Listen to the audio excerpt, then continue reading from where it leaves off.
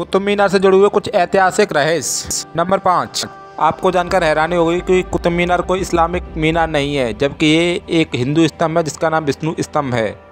Fact number चार, विश्व हिंदू संगठन का मानना है कि कुतुब मीनार को किसी कुतुबुद्दीन ऐबक ने नहीं बनवाया, जबकि इसको विक्रमादित्य जी ने पाँचवीं शताब्दी में पूर्ण कराया था।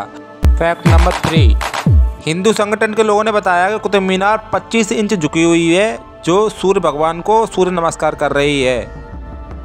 फैक्ट नंबर टू हिंदू संगठन के लोगों ने बताया कि कुतुब मीनार के जो दरवाजे हैं, वो उत्तर दिशा में उपस्थित हैं, जहाँ पर चढ़कर रात में रात को ध्रुव तारा के दर्शन किए जाते थे। फैक्ट नंबर वन हिंदू संगठन का मानना है कि दिल्ली में उपस्थित 27 मंदिरों को तोड़कर यहाँ पर एक मस्जिद का निर्माण किया गया, जिसका नाम था कुवत उल इस्लाम मस्जिद। ये विष्णु टेंपल की जगह पर बनाई बनाई गई ताकि विष्णु टेम्पल्स को नष्ट किया जा सके। चैनल को सब्सक्राइब करना ना भूलें।